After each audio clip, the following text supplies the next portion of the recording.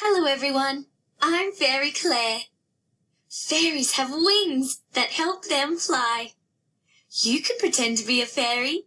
Just flap your arms straight up and down, then twirl around and around. That's it. Everyone can be a fairy.